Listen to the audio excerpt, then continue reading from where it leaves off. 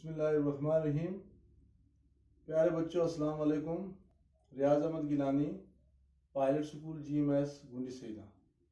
तो बच्चों आज का हमारा जो आ, सब्जेक्ट है वो है आ, सोशल साइंस में सिक्स है और आज का हमारा जो टॉपिक है वो है the united nation the united nation हमारा सब टॉपिक जो है the aims of united nations or united nations के कौन कौन कौन से एम है? Number one to keep peace throughout the world to keep keep कहते हैं रखने को। पीस हो गया अमन। टू कीप पीस अमन कायम करना, अमन को रखना थ्रू आउट द वर्ल्ड पूरी दुनिया में। ये यूनाइटेड नेशन के एम है। में से नंबर वन है ये।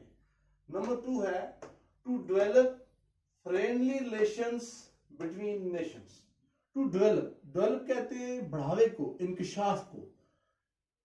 पीस को बढ़ाने में दोस्ती को बढ़ाने में और तलकात को कायम रखने में पूरे नेशन का रोल क्या है?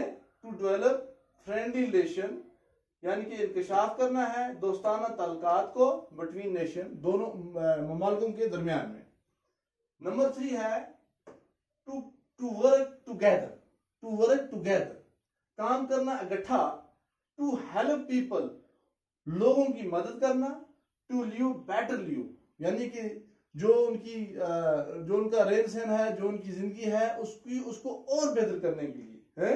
ताकि उनकी लाइफ जो हो और बेहतर हो, बेहतर, अच्छी तरह जिए हो और नंबर फोर है to eliminate poverty diseases and and illiteracy in the world यानी कि खत्म करना है।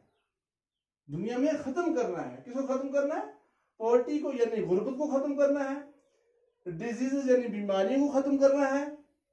एंड इलिटरेसी यानी कि नाखवानगी को नाखवानगी को खत्म करना इन द वर्ल्ड पूरी दुनिया में। यानी तमाम ममालकों को आपस में मिलकर ऐसे काम करने हैं। ये यूनाइटेड नेशन के एम्स हैं। ताकि गुर्बत भी खत्म हो जाए, बीमारी भी खत्म हो जाए और नाखवानगी खत्म हो जाए। जैसे आज दुनिया में एक बहुत बड़ी बीमारी कोविड नाइन्टीन चल रही है। इसको खत्म के लिए पूरी दुनिया, खत्म करने के लिए पूरी दुनिया जो है वो लगी हुई है।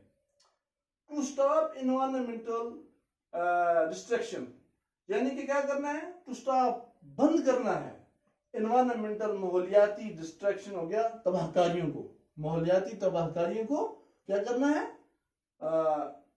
खत्म करना है। नंबर सिक्स है to encourage respect for each other rights and freedom यानी कि आज़ादी, हर मुल्क की आज़ादी को, हर मुल्क की हकूक को राइट्स कहते हैं हकूक को। हर मुल्क के हकूक को और उसकी आज़ादी को क्या करना है?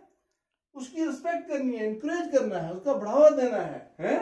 एक दूसरे की, कोई भी मुल्क हो, हर मुल्क को दूसरी मुल्क के आज़ादी के लिए और उसके हकूक के लिए क्या करना है, है? उसको इंकरेज करना उसका बढ़ावा देना है ना कि उस पर तनकीद करनी है ये ये ये कर गया वो कर गया ठीक है?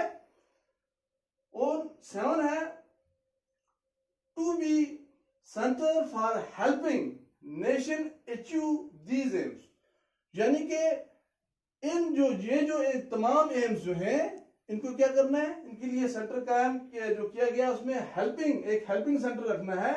ताकि तमाम ममालक मिलकर क्या करें, इस एम को लागू करें, ताकि कोई भी मुल्क ऐसा ना हो, जिसको, जिसके इंसानी हकूक हो, यानी जिसके राइट्स हो, या जिसकी आज़ादी हो, उसमें फ़र्क आए। तो बच्चों यूनाइटेड नेशन जो है, ये ऑर्गेनाइजेशन है। ये ऑर्गेनाइजेशन है वर्ल्ड की ऑर्गेनाइजेशन है। और मैंने आपको पहले पढ़ाया है, ये कब कायम की गई? जब फ़र्स्ट वर्ल्ड वार और सेकंड वर्ल्ड वार हुआ था दुनिया में, और सेकंड वर्ल्ड वार में क्या हुआ था कि दुनिया में बहुत सारी डिस्ट्रक्शन हुई थी, तबाहकारियाँ हुई थी एंड डेथ्स हुई थी, और अमवातें हुई थी, जिसकी वजह से इसकी ज़रूरत पड़ी पूरी दुनिया की देख रेख के लिए। तो बच्चों, इसको अच्छी तरह आप याद करना और हमारा नेक्स्ट जो टॉपिक कल का इसी के आगे जो है the principles of the united nation united nation के असूल क्या है? क्या क्या असूल हैं? किन किन उसूलों के तहत जो है दुनिया जो है वो चलेगी? तो उम्मीद है आप ये अच्छी तरह घर में इसको रिवीजन करेंगे और जितने भी ये सात जो एम्स हैं किसके यूनाइटेड नेशन के, इसको अच्छी तरह आप याद करेंगे और अपनी नोटबुक पर लिख के रखेंगे ताकि आपको ये याद रहे। Thank you very much